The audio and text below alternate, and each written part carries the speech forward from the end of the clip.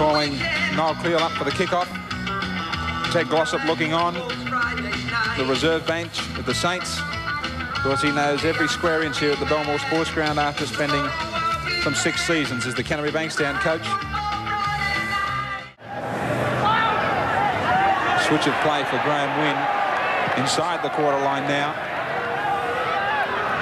Clark, Robinson, the kick out wide for the backs. Beattie's coming onto it. Dwyer read it perfectly, tidied it up well. And now he's found Davis, who manages to stay in from the touchline. Ryan. Same result. You can't beat Gill though, TV. For Glenn Ryan. And one out again, Manly, without any real support. Runners coming, Pocock. Gill out of the way, who was told he was offside by Eddie Ward. That's why he didn't take any part in the tackle. They go through the backs now, Hasler. Switch of play for Noel right up the middle. The big crusher on the charge for Manly. Numbers over here if they can spread it. Austin with a dummy. Cuts back infield. Still going. 32 out from the St George line. Best move of the match so far. Toovey. Hasler. Hatter comes through the back line on Dwyer. Daryl Williams fumbles, knocks it down. St George will come up through the advantage. Craig Young. They keep it alive. Gordon. Well, the fence just isn't on here at the moment. Osborne out wide. Sloppy pass. Manly player was held back. This will have to be a penalty. Gately. Trying to play this game on the fringe of the rucks through their forwards, Manly. Pocock's come up with some breaks, as has Cleal. Now Hasler comes up with a break. Links up with Rapati. This time he'll look for Davis. Back on the inside, support from Noel Cleal. Inside he tries to beat Walford. Back for Rapati. Brilliant football from Manly. Keeping the ball alive now. They have the overlap if they can spin it. Broken chair, fumbles the ball. Rapati from dummy half. Rapati from dummy half has gone right through. Rapati Rapati's only got the fullback in front of him, but the support ran away from him. And Big Joe will play at 32 out from the St George line. Cleal and Toovey now. And then Hasler. A looping overhead pass for Dwyer. But he really had to stop to gather that in. Now here's Austin. Keeping the ball alive now, Manly. Hasler. Hasler looks for support. He's got it. Into Cleal. Now back for Toovey. Toovey to the quarter line. The gap is there for the little fella. Brought down just 10 metres out from the St George line. Here come the Manly side now as Cleal. Got it away to Hasler. Looking out there for Davis. He must score. He will score. Improving the position just a fraction. And the Manly side is in. Opportunity now to post a try before the break. It's six minutes away from half-time. Around the corner, the pass came from Gately. Toovey was a pressure ball for Hasler.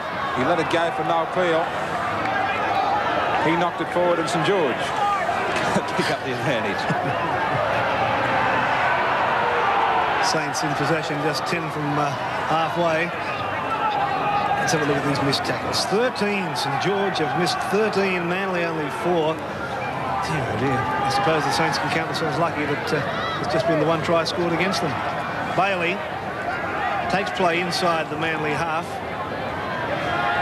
They do look like a side with uh, many problems at the moment, the, uh, the Saints, don't they? Osborne running straight across field, able to uh, link up with Beattie. And then out to Wynn. Wynn's into the clear. Wynn's to the quarter line. Where's Walford? Looks for Walford. Found him. And Walford is going to score underneath the post. Well, that came out of nothing. Wynn and Walford. Rapati. Rapati pushing off some pretty flimsy defence. Will play it on the quarter line. Here's Cleal. Running straight across field, trying to thread his way through the gap. Pass back inside for Simon Davis. So Manly still on the attack, 11 metres out from the St George line. Brokenshire back to Toovey. There's the half-time siren, so time has beaten Manly for the first half anyway. And they'll go to the break with St George leading 6 to 4. Yes, well, we've had a game of football. Anyone that's been watching it here will agree that there have been more mistakes in this half of football than you'd see in a full game of uh, daytime football. I'm not blaming the nighttime lighting or anything of that nature. The teams just can't uh, hold the ball, but they've come up with a try apiece. Walford scored a try for St George not so long ago. Also converted his own try. That's their six points. Now it's again Cleal. Plenty of room to move for him. Eddie Ward with a big five-metre line. He's taking these defences back eight and ten metres at times. There he is, marching well and truly out of uh, view, Eddie Ward. Back some eight metres on that occasion. Rapati caused plenty of trouble too in the first half, and now he started well in the second. He has Hasler inside, has the darts back outside. Now switching player, goes for Austin. Great try to Manly. Rapati and Hasler, brilliant combination in under the post. Just what Manly wanted to kick off this second half. Has plenty of pace. And exactly what Bobby Fulton would have asked for at half-time and Rapati laying that one on for Manly. As I was saying before in the run, he was causing plenty of damage in the first half. Well, his father's the veteran sprint champion in the world, you know. From right in front for Dwyer. Make that one out of three for him now. So it's Manly hitting the front by 10 points to six. Friday night football at the Belmore Sports Ground live. 10-6, Manly uh, leading. You'll recall they finished the first half full of running, almost scored just before half-time, but they've started off where they left off. Saints in possession now. Robinson getting it away to Graham Wynn. He has the feed for Manly. And able to take it over the line and lost the ball, but the penalty's been given to Manly. Well, Shaw will welcome this opportunity. He's been out of favour at Manly for the last six or seven weeks. And uh, taken over as the uh, the replacement halfback in the Manly side. Now there's Shaw coming on. Toovey's got uh, a bit of a ruffle on the head there and going to be assisted off. He's only a very small man, but he's a tough little fella, and uh, I think he'll weather the storm okay. Jumps into the dummy half position, Hasler. Shaw. Rapati on the charge. Bouncing off tackles, he's done it again, right through. Great try, great individual try. Plenty of strength, a good step. He's having a huge game for Manly. Now Manly with Hasler. Discarding one defender. Still going up to the halfway mark. Good run from Hasler and a flick out the back door to Shaw. Shaw saw the gap and went straight through it. He looks for support. He found that man Rapati again. Rapati's got rid of one. Still going Rapati. What a hell of a game he's having tonight. Really enjoying himself. Anything he won't enjoy is if he has to do an interview. Hates him. now Hasler turning it back for Pocock. That, look, that looks so sad, Graham. Look at Gately. Gately gets a pass away that's gone astray. It's picked up by Hasler, and Hasler's under the post. Oh, Manly. Dwyer. No mistake. So Manly. Brett Clark says, if it was, but I want any more. oh dear. Now Manly getting back into the swing of things with uh, Austin playing it. Brokenshire to Ryan just inside the quarter.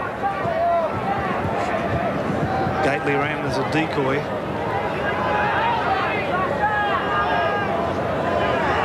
It's Manly ready to work into a really attacking position. Now he's sure. He threw the gap himself, Shaw. Pass back inside for Hasler. That's an easy try. Well done, Shaw. Sprinted. Knew Hasler was there inside and the pass was good. State Bank big game. Brisbane against Canterbury from Lang Park.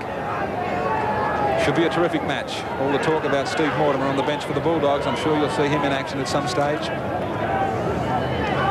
I think the, uh, at the risk of sounding as though I know what I'm talking about, I think they made a blunder with Steve Mortimer. I think he's a bit. Well, away goes Manly. Charlie Haggett right under the post. Back to Shaw, and Hasler was involved yet again for another Manly Warringah try. Smiles all round for Manly. Right under the black dot, and another easy kick for Timmy, Timmy Dwyer. Pulled down 32 metres out from the Manly line.